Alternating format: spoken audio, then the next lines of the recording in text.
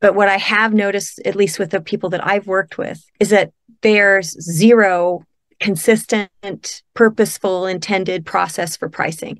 And instead, it is essentially based on something really simple, like just their height, the width of the painting at a dollar rate, which is widely wrong if you are painting both tiny, tiny pieces and really large pieces in your essential range of products.